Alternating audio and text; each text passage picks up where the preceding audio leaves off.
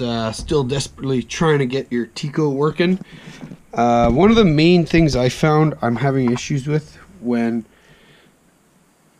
this thing wears out a bit, I uh, find this stops pushing against the filament and will make that clicking sound and it'll stop extruding and that's what I see a lot of people having issues with. So, what I did was I ordered these little self-lubricating bushings that fit just perfectly over top of that. So, what I'm going to do now is drill out because I've had a critical failure and I'm not expecting any parts anytime soon. I've been gluing in little pieces of tin for the last little while, uh, trying to jam it one way or the other, but that's not really working anymore. So I'm gonna drill that out, drop that bushing in there, and uh, hope for the best. This is it. Either gonna fix my Tiko or I'm gonna ruin it right now. So final stage.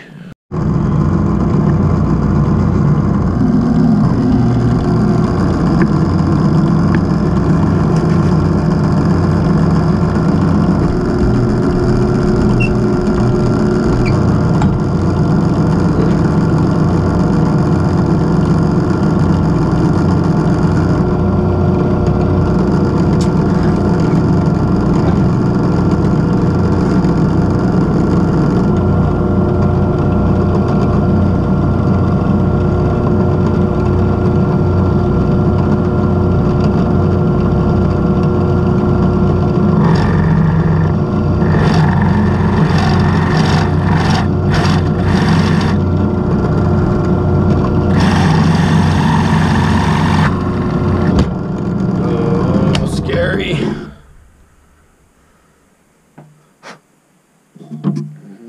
Okay, well, it's done. I did the hole. It ruined everything. So it looks good so far. I really hope this works. Otherwise, I'm screwed.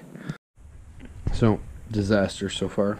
Uh, it's too tight and it just makes a terrible sound when it tries to load the film. So I'm going to file it down a little bit away. Hopefully that'll loosen it enough that it doesn't just destroy it.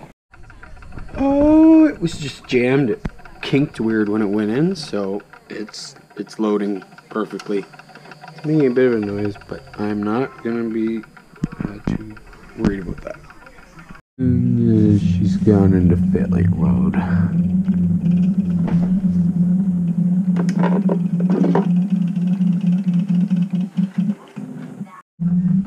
So after a bit of fiddling, I think I've got it. It's uh, printing properly at least now.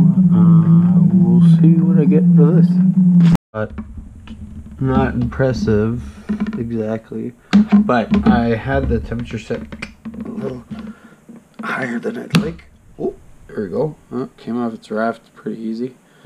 Uh, there was a layer shift right in the middle, but that might be my fault. I redid the Teflon on my brackets, and uh,